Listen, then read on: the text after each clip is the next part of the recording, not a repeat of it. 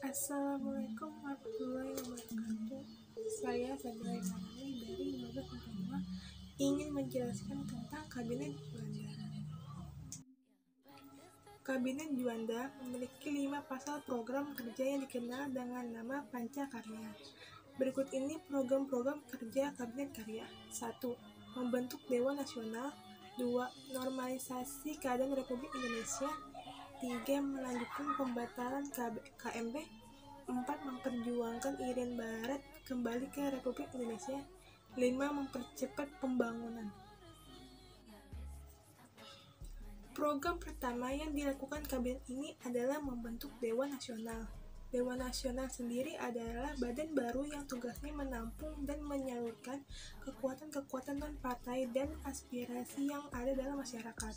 Berbentuknya Dewan Nasional ini tidak serta-merta mengurangi kesulitan-kesulitan yang dihadapi oleh negara. Pergolakan di daerah-daerah terus berlanjut Uh, hal ini mengakibatkan bertambah parahnya sistem perekonomian nasional. Untuk mengatasinya, pemerintah mengadakan musyawarah nasional atau munas di Gedung Proklamasi Jalan Pegang Pegangsangan Timur nomor 56 tanggal 10 hingga 14 September 1957. Munas itu membahas masalah pembangunan nasional dan daerah, pembangunan angkatan perang, serta pembagian wilayah Republik Indonesia. Ketegangan yang terjadi antara pusat dan daerah juga antar kelompok masyarakat berhasil diatasi dengan baik. Dalam mengupayakan terwujudnya keputusan MUNA, pada bulan Desember 1957 diselenggarakan Musyawarah Nasional Pembangunan atau MUNAP. Pada MUNAP ini disusun rencana pembangunan yang dapat memenuhi harapan daerah.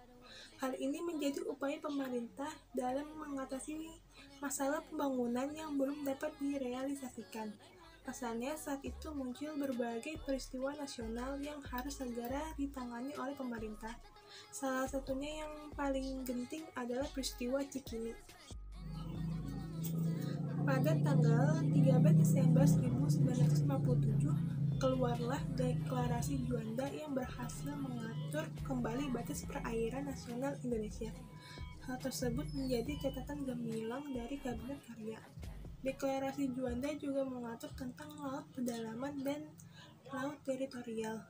Peraturan lama menyebutkan jika laut teritorial memiliki lebar 6 mil dari garis dasar sewaktu air surut. Jika deklarasi Juanda tentang laut teritorial diberlakukan, maka di wilayah Indonesia akan terdapat laut bebas seperti Laut Jawa, Laut Flores, dan lain sebagainya. Melalui deklarasi Juanda itulah terciptanya kesatuan wilayah Indonesia, yaitu lautan dan daratan yang merupakan satu kesatuan. Nah, saat demokrasi terpimpin terjadi, diumumkanlah Kabinet Kerja dengan Presiden Soekarno menjadi Perdana Menteri dan Juanda sebagai Menteri Utama. Hal itu sekaligus menjadi momen jatuhnya Kabinet Karya Juanda.